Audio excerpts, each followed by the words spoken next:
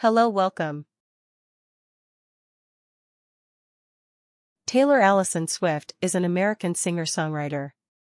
Her discography spans multiple genres, and her narrative songwriting, which is often inspired by her personal life, has received widespread media coverage and critical praise.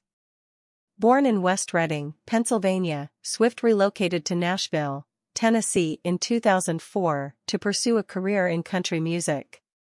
She broke into the country music scene with her eponymous self-titled debut studio album, Taylor Swift in 2006, which included the singles Teardrops on My Guitar and Our Song.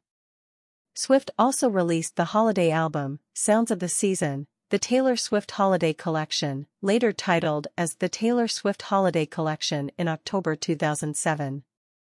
Swift rose to mainstream prominence with her second studio album, Fearless, 2008, a country pop record with crossover appeal.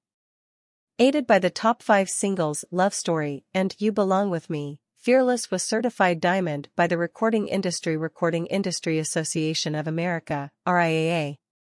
Swift's third studio album, Speak Now, 2010, blended country pop with elements of rock and featured the top 10 singles Mine and Back to December.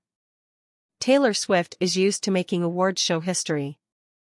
In 2021, the anti-hero singer became the first woman to win the Album of the Year Grammy three times.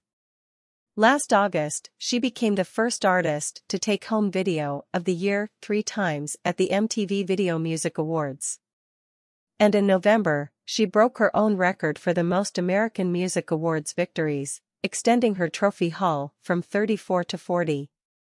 Now, at the 2023 Grammy Awards, which will be held at the Crypto.com Arena on Sunday night, the 33-year-old pop superstar is making a different kind of history, with her Song of the Year nomination for All Too Well, Swift has become the first artist to get a nod in the prestigious category for revamping one of her old songs.